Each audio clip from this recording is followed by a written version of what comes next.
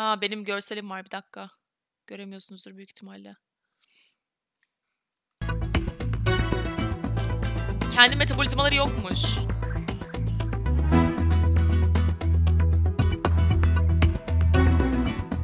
İnsan veya diğer canlılara ihtiyaç duyuyorlarmış yaşamak için.